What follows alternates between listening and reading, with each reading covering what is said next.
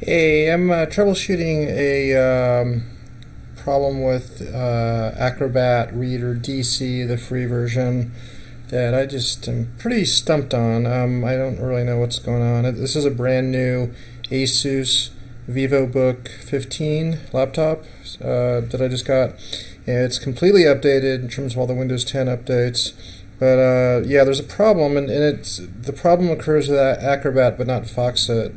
Um, and it's pretty crazy. Uh, the, the file I am looking at is simply this uh, doc file that I convert to PDF with either CutePDF or uh, the Microsoft uh, PDF generation tool that, that's in Office.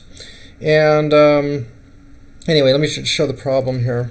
I'll first show it in in in um, Foxit because it works great in Foxit. Foxit Reader 10. So yeah, it's the silly little text file.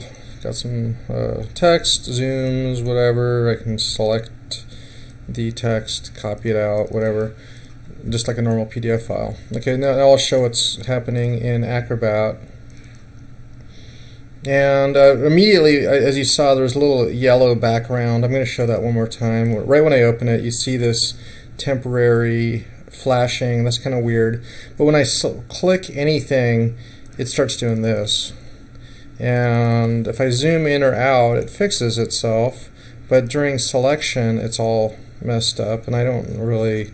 I don't know. It's basically unusable. I, I can't do that. You know, Acrobat cannot be used in this state. Um, the other thing I did was I, I looked at the preferences, and a couple people people were saying to look at the uh, page display preferences and uh, smooth text. I, I played with all three of these settings, none, monitor, or laptop. Um, people have also said to play around with these settings. None, none of this has done anything. In cases, some cases, made it worse, so it just wasn't really usable at all. Uh, you know, like it, uh, it just wouldn't. It would just be always displayed gar garbled text.